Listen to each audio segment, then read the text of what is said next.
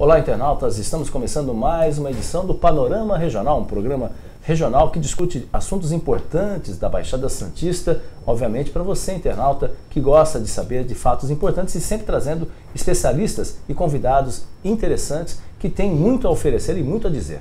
Hoje, nosso convidado é o presidente da Câmara de Santos, o vereador Adilson Júnior, do PTB, que vai falar sobre importantes ações que estão sendo realizadas no Legislativo Santista. Olá, tudo bem, vereador? Tudo bem, presidente? Como é que está a luta dentro desse toda essa dificuldade econômica que o Brasil está passando? Obviamente também está atingindo a Câmara de Santos. Como é que a Câmara está lidando com a situação financeira? Exato. Um grande abraço a você, Fernando, todos os nossos internautas aí. Uma alegria poder estar tá tendo esse privilégio, né? E agradecer a você que está aí clicando e nos assistindo é, e dando essa oportunidade de nós publicizarmos as nossas ações e prestar contas né, no nosso mandato.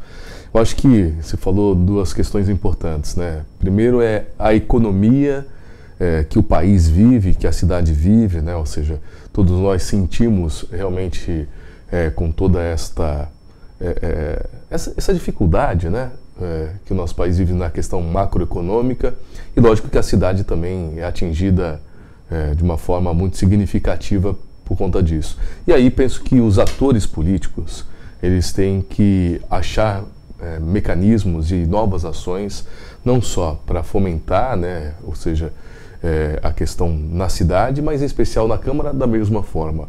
Né, ou seja, a gente, enquanto presidente da Câmara, ou seja, que compete a mim, vereador Kenny, vereador Roberto, a questão administrativa, é, da Câmara tentando aí implementar desde o nosso primeiro dia novas ações, né, uma nova metodologia de trabalho, uma nova gestão, é, tudo visando essa austeridade com dinheiro público, né, para que a gente possa dar uma melhor resposta para a sociedade e não só isso. Né, no comando da questão política, também fazendo ações que propiciem aí ao conjunto dos parlamentares esta possibilidade de poder é, contribuir para a cidade também nesse momento. E dentro desse cenário, presidente, é, quais ações práticas já foram implementadas a isso tá, desde o mandato, desde janeiro? Na questão da economia? Economia. Então, a, gente, a gente traçou desde o primeiro dia assim, uma ação é, contundente de austeridade de fato.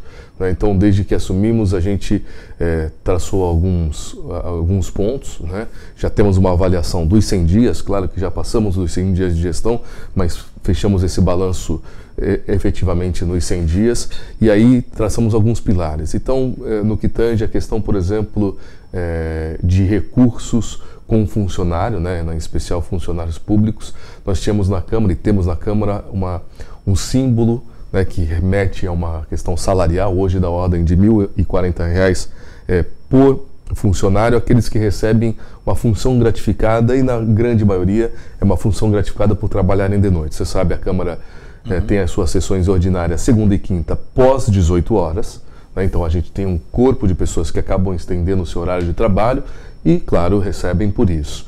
É, e nós temos também as audiências públicas, uh, as, uh, as sessões solenes, as comissões que também demandam. Mas quando nós chegamos lá, encontramos é, 88 funcionários que, que trabalham e tinham essa função gratificada e não que nós reduzimos. Na verdade, claro que reduzimos na ponta, mas é que nós otimizamos. Para não ter perda de qualidade, perda de trabalho, otimizamos alguns desses setores e conseguimos aí reduzir é, ao passo de 40 funcionários e a gente tende a reduzir ainda mais nos próximos meses. É claro, é, sempre respeitando uma, uma otimização e que não tenha perda de qualidade por conta das atividades. Então, é, focado isso na questão do RH, a gente está acabando agora uma pequena intervenção no antigo canteiro de obras da Câmara, permaneceu ali em parte do estacionamento. É um ambiente não muito grande, também não pequeno, ou seja, que servia ali para guardar algumas coisas, é, retaguarda do pessoal da limpeza que se utilizava ali para até para almoçar tal. O que, que eu fiz? Eu é, fiz uma contratação de uma empresa, né, é, da ordem de 14 mil reais, até porque mais que isso teria que ir para licitação, então conseguimos achar aí um modelo que cabia nesse orçamento até para dar celeridade, ou seja, porque se vai para a licitação são mais três meses. Nós estamos readequando esse espaço, vai ser entregue até o final desse mês de junho, para é, abrigar o nosso arquivo. a Câmara já é estrangulada do ponto de vista de espaços físicos, né? E desde então ela alocava um espaço para guardar o seu, o seu arquivo, um, um, contrato mensal de 15 mil reais, que na sua renovação contratual passaria aí para perto de 17 mil reais mês, né? Por conta dos índices de GPM, inflação e o que vale, uhum. ou seja, um, uma, uma, uma alteração contratual como qualquer outra então nós decidimos não renovar nesse contrato, né, ele é válido por cinco anos e mais renovado a cada ano. Nós não renovamos. Eu tive que fazer só um mês a mais né, do previsto por conta ainda de não ter essa estrutura pronta. Abrigamos isso dentro da Câmara ali, ainda em espaços que não servirão para isso, para nesse mês, acabando essa reforma, abrigar ali o arquivo que deve ter aí uma vida útil por pelo menos mais dois anos neste modelo. Né? Estamos pensando também agora comprar é, abrir uma licitação para arquivos, por exemplo, que arquivos que compactam esses, esses materiais, né, esses papéis, que dará mais uma vida útil a esse espaço, seja eliminando, por exemplo, um possível aluguel na próxima mesa ou na, no, no futuro que o valha. Nós também renegociamos, Fernando e internautas, todos os nossos contratos, todos. Eu ainda não fiz nenhuma, né, na nossa gestão, não temos contratos novos é, com licitação feita por esta mesa. Mas todos eles, alguns deles, melhor dizendo, eles passariam por uma renovação contratual. Contrato de limpeza, contrato de monitoramento, contrato de segurança e, e, entre outros contratos, né? Nós, então, na renovação, teríamos que ter um reajuste. Chamamos todas essas empresas e renegociamos. Nenhum desses contratos sofreram alteração contratual. Nenhum. Um, Para não falar nenhum, um único que nós não conseguimos reduzir, aliás, não aumentar conforme o contrato previa mas a gente teve 50% é, nessa renovação. Uma outra, a, a, Câmara tem o serviço de taquigrafia, foi feita uma nova licitação e, a gente homologou, que também deu uma redução significativa, era um contrato que nós gastávamos perto de dois mil reais por sessão, por conta, e hoje gasta 700 reais. Então, ou seja, somando tudo isso, né, e a, aliado a outros elementos, por exemplo, uma nova gestão na questão do nosso da, da iluminação da Câmara. Né? Na questão da água, nós tivemos uma redução mês de perto de dois mil reais do consumo de água por algumas implementações que fizemos e também é, é, uma melhoria ali na, na, estrutura da Câmara. Você sabe, é, um prédio, é um prédio secular. tombado, secular de 1906, reformado há seis anos atrás, precisa de uma nova intervenção e sofre seus problemas uhum. estruturais. Algumas dessas nossas intervenções já resultaram, por exemplo, em redução do consumo de água, é, no consumo de luz a gente já mudou alguma coisa. Por exemplo, no plenário nós tínhamos uma lâmpada de croica que consome mais energia e, e mais calor, fazendo o ar-condicionado trabalhar mais.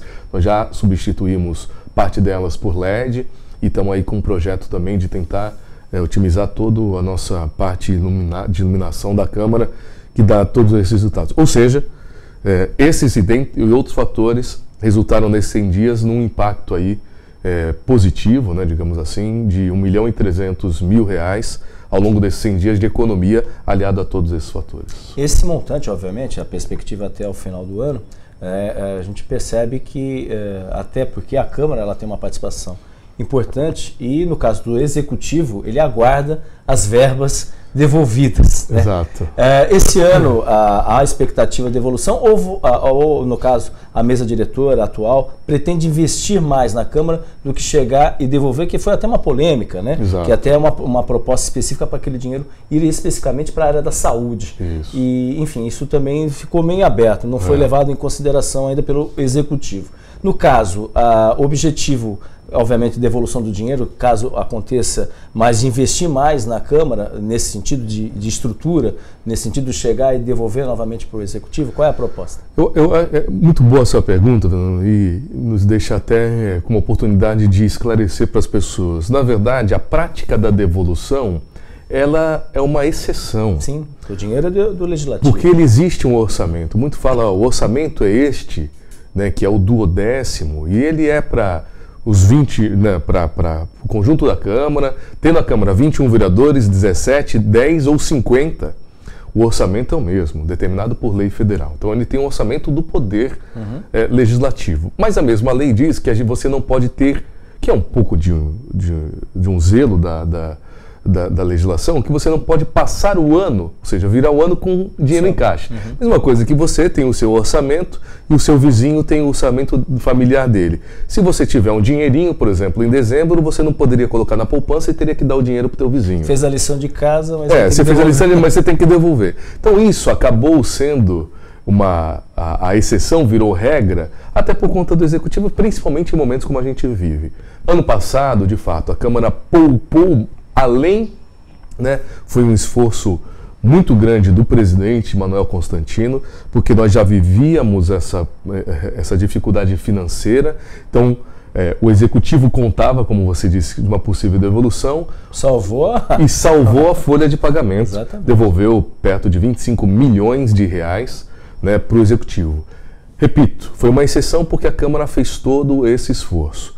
É, como você perguntou, claro que nós temos um orçamento de 98 milhões, parte deles é, em execução para a folha de pagamento, quase 30%, uma parte significativa para o Instituto de Previdência, que é o IPREV, né, ou seja, que faz junto à Prefeitura 30 milhões de reais mês, Prefeitura e Câmara aporta no Instituto de Previdência. São salários milionários, na realidade, que obviamente foram angariados com todos os direitos, digamos assim, discutíveis, diga-se de passagem, né, vereador? Exato. Mas, assim, salários aí de algumas casas decimais que, obviamente, você, contribuinte santista, paga e, obviamente, esse pessoal aposentado está no IPREV. Isso aí. Né? e é aí, ad eternamente... Ad eterno, até a, quando falecer. É, né? Eu acho que a gente teve uma, um fator importante, a Câmara é, com a redução dos 20% para 10% de incorporação, que dará um impacto não hoje, não ano que vem, mas nos próximos anos, não só do ativo, mas também do inativo. Até demorou, né? Isso aí muito, demorou. Demorou muito, muito porque é.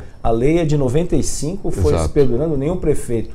E a, o atual também, tem que dizer que passagem, só fez por causa da situação econômica, porque foi no quinto ano do mandato dele que resolveu, e aqui o Jornal Boc News, por exemplo, sempre bateu nessa questão do, dessa incorporação de 20%. Né? Exato. Né? Isso é um peso, obviamente, para a Câmara. Também. Porque todos os funcionários cedidos também, ou os próprios funcionários também acabam. É, não só os que são da Câmara que incorporam, mas aqueles que, porventura, vêm da Prefeitura, que é funcionário público de acesso, vêm desempenhar um papel na Câmara e, porventura, tem aí um cargo de chefia também incorpora. Quem paga a Câmara. Quem paga é a Câmara. Uhum. Mas quando ele aposenta, por exemplo, ou quando ele retorna para o Executivo, vai para a conta do Executivo. Ah, executivo. Então, por exemplo, se você tem uma pessoa da Prefeitura que entrou por um concurso X, vem para a Câmara e desempenha até, por exemplo, uma atividade parlamentar, e de nível C2, ele incorporava esses 20%. Se de repente o vereador não é reeleito ou não, a pessoa já não desempenha mais nesse gabinete, retorna à prefeitura, a conta ficava lá e vice-versa. Né? É, da mesma forma, funcionários da Câmara para a Prefeitura uhum. e quando retornam. E o IPREV, que eu acho que é uma coisa que não só Santos, todas as prefeituras têm que de fato se preocupar muito, né? porque a gente vem num estado vegetativo da folha, como você disse, com direitos adquiridos antes de 1991, que ultrapassa o teto do prefeito, por exemplo, hoje não é mais isso. Né? Hoje o salário do prefeito é o teto do funcionalismo. Outrora não era assim. Então, muita gente ganhou isso na justiça, direito adquirido, né, já transitar no julgado e tem o teto constitucional do, do ministro isso. do Supremo. Então, o que, que isso ocorre? Se ele está na ativa, ele consome do, do, orçamento da ativa, né, da folha de pagamento, seja Câmara ou município. Quando ele vai para o Instituto de Previdência, eh, e com a nossa eh, taxa de, de, de, longevidade aí acentuada, uhum. ou seja, ele, ele consome do IPREV. E o cara que está na ativa não contribui igual a ele. Ou seja, então essa é uma coisa Sim. que precisa a gente estar atento. Mas te respondendo, de fato nós estamos fazendo essa, essa gestão muito austera, né? ou seja, isso é, sem dúvida está dando nos cofres públicos da Câmara, né, no erário da Câmara, uma economia, é, é natural, mas claro que a gente precisa também fazer alguma gestão. Então a gente, por exemplo, já está melhorando o parque de impressoras, por exemplo, da Câmara, o outsourcing, na verdade, que é toda a parte de retaguarda de impressoras, scanners e tal. Para você ter uma ideia, os, os vereadores não conseguem imprimir é, um requerimento, por exemplo, com fotos que vêm, por exemplo, o internauta, que usa as plataformas de rede social, que mandam para os vereadores uma solicitação, quando isso se transforma documento em preto e branco, que as nossas impressoras estão. Então a gente está otimizando isso, estou fazendo, estamos é, terminando uma licitação para alocar esses equipamentos, que também, apesar de dar uma melhora, vai dar uma uma economia, né, porque os equipamentos são próprios e, e dão problemas. E a gente deve investir, por exemplo, melhor em plataformas como essa que estamos aqui, que é uma retaguarda de comunicação melhor. A Câmara, de fato, ela tem um único é, jornalista, um único jornalista para cobrir toda a instituição. Isso precisa melhorar. Sim, até na área de comunicação, a TV legislativa. Como é que estão os processos para a implementação da TV legislativa? Eu penso que deve ser em dois pontos, né? É, nós temos já a TV legislativa que é, manda o seu sinal pelo canal 9 da NET e nós a partir de janeiro desse ano, entramos no Facebook e transmitimos também em, em, ao vivo, em live, todas as nossas sessões, audiências e sessões solenes. Mas a nossa retaguarda, ou seja, de equipamentos, ela é muito antiga, ela foi comprada em 1990, Está aí a tecnologia. Até teve falha ontem na sessão. É, teve falha da questão da luz, e a luz volta e os equipamentos não voltam. é, ou seja, porque demora ali por conta que eles são bastante Sim. antigos, né? Eles são de, foi, foram comprados pelo presidente Paulo Gomes Barbosa. E continuam os mesmos equipamentos. Imagina, hoje um celular tem muito mais capacidade que todo o nosso equipamento, por exemplo.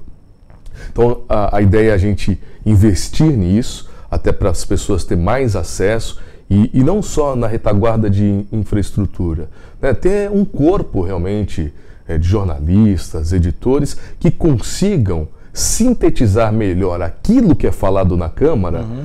Para a pessoa que está, para o espectador, seja da TV, da rede social. Porque hoje é o que é tudo full time, a pessoa sintoniza ali às vezes nem entende o que está se passando, é claro que não, porque a gente começa às 6 vai até às 10 da noite. Então penso eu que a gente precisa, na verdade, não só melhorar a estrutura tecnológica da Câmara, mas em especial dar uma melhor retaguarda do ponto de vista de profissionais.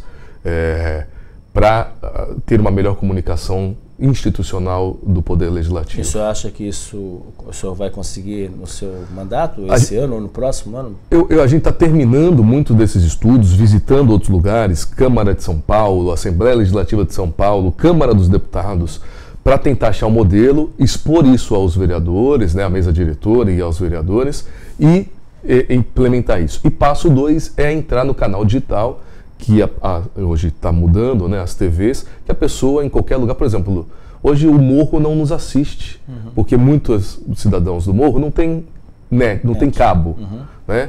Então, a partir do momento que você abra um canal digital, e nós já estamos outorgados para isso, a gente tem uma amplitude muito maior de captação por conta das pessoas. E aí a gente tende também, a, não sei se é, dá tempo, porque é uma licitação muito complexa, né, do ponto de vista de comprar transmissor, antena, retaguarda para onde isso fica e tal, mas é o segundo passo para a gente poder ampliar ainda mais a nossa, a nossa, uh, o nosso sistema, né, e principalmente é, é, irradiar o, o que se passa na Câmara de Santos. Presidente, só para a gente finalizar também, por causa do nosso tempo, uh, uh, o senhor já tem experiência como vereador e a gente percebe uh, que nessa legislatura, se na, na, legislatura anterior o legislativo era mais, muito mais, aprovava muito mais as ações do executivo, gente percebe que nesta legislatura essa relação já, não, já está um pouco desgastada. É claro que ainda há uma maioria, e o senhor, como presidente da Câmara, obviamente tem que ser o, o, o adequador ali, o, o meio termo de, de, todas as situações. O senhor acha que o, a, a, questão, por exemplo, do, dos salários dos servidores, que houve aquele embate, que houve aquela polêmica nesse sentido, né, e até houve um, número razoável de vereadores que se colocaram contra a proposta da prefeitura, inclusive uhum. da base governista, né? Só acha que o que, que, mudou dessa legislatura em relação à legislatura anterior, no caso do, do legislativo, e em relação ao executivo? E já esse essa essa concordância já foi maior na legislatura passada do que nessa ou não? É, é claro que são poderes independentes. Exato. Mas, obviamente... eu não saberia dizer nesse sentido. Eu acho que a gente tem que fazer uma análise Fernando, me permite, um, um, pouco mais ampla. Né? Eu acho que o processo de oxigenação que a Câmara sofreu, que é salutar, uhum. nós tivemos uma renovação significativa e, e, em todos os sentidos, de correntes partidárias, de faixa etária, ou seja, então todos esses elementos talvez levem é, a uma nova concepção, uma nova cultura por parte do legislador. Como disse, que é salutar. É um poder independente, é claro que nós é, que a grande maioria é de base de sustentação do governo, mas não quer dizer que eles não possam ter a sua própria é, é, não só independência, uhum. mas o entendimento quanto a uma matéria. Essa foi é, significativa. Primeiro que foi um momento delicado, difícil, que tinha que se separar e no entendimento particular de cada um, por exemplo, e aí não falando como presidente, mas enquanto vereador, entendimento de cada parlamentar do, do momento que a cidade vive. Ou seja, ou eu aprovo e, e tem um, um, índice de popularidade, por exemplo, nos servidores é, positivo, aliado a isso, é, a gente compromete as finanças da cidade, porque é um impacto bastante grande. Hoje, a folha de pagamentos consome 70 milhões de reais mês. Imagina se você aumenta é, nesse ano com um, um, paradoxo, né? Você aumenta a folha e a nossa entrada caindo. Então, eu acho que é um, foi um momento que a, a Câmara principalmente mostrou é, uma, uma responsabilidade, sabe? Que não foi muito pelo lado popular e político, e sim pela questão de responsabilidade e entendimento econômico do que a cidade vive. Então esses elementos fazem e traduzem a Câmara de hoje, né? que é uma Câmara realmente que tem uma base de sustentação do governo Paulo Alexandre significativa, dentre 21 19, mas ao mesmo tempo, em alguns momentos, tem mostra a sua independência e o seu entendimento particular de cada parlamentar, o que é salutar. Sim, sem sombra de dúvida, é, é importante e, obviamente, as questões sempre para o interesse público. Isso que é mais significativo e a gente espera que haja, obviamente, discussões sempre em ótimo nível, como acontece, uh, entre o Executivo e o Legislativo. É o que a gente espera e a gente agradece a presença do presidente da Câmara de Santos, Adilson Júnior, do PTB, que gentilmente veio falar conosco aqui no nosso programa Panorama Regional, sempre com informações importantes da Baixada Santista. Você assiste nas redes sociais esse programa, tanto no YouTube como também no Facebook, e também no canal de áudio do Boc News, bocnews.com, em horários específicos que serão divulgados depois nas redes sociais. Tenham todos um ótimo dia.